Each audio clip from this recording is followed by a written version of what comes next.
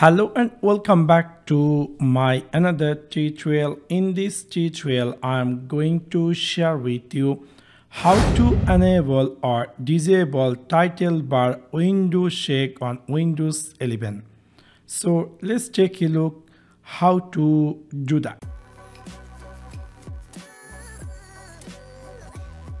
Maybe you might be noticed that uh, in Windows 11 has new features which is saying multitasking. Like for example, you had open uh, many tab or many window in your Windows 11 and you would like to uh, like to just like shake to minimize uh, other extra windows for that is really very useful features in Windows 11 if you want to enable that it's really very easy and simple.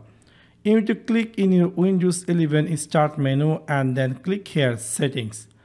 After click over settings in the right side you're going to find here something say multitasking.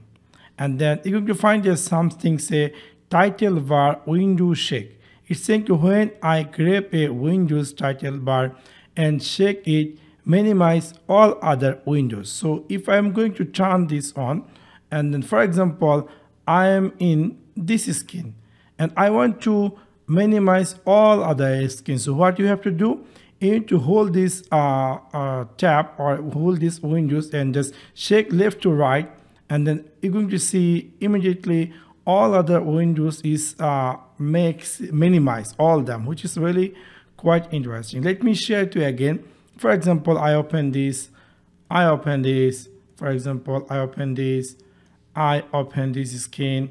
You can see I have total three skin.